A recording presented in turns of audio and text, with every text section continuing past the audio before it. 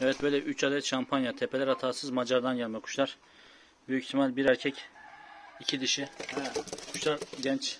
Üçü de kardeş. Hafiften tırnak üstü var. Onun dışında bir beyazlık yok. Tup turuncu kuşlar normalde.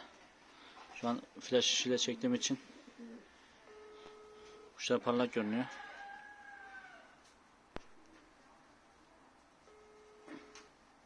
İhtiyacı olan ulaşabilir. Maşallah tepeye. Erkek olan şu arkadaki.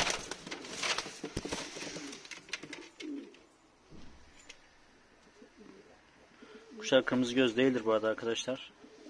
Bilginiz olsun. Videoda öyle görünüyor ama ışıktan dolayı.